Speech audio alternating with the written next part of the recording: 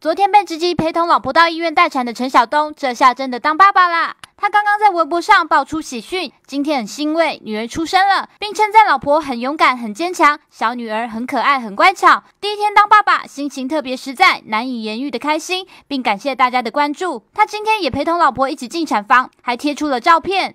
他也晒出小女儿小鸭子的照片，真的是恭喜这位新手爸爸啦！优酷全乐台北报道。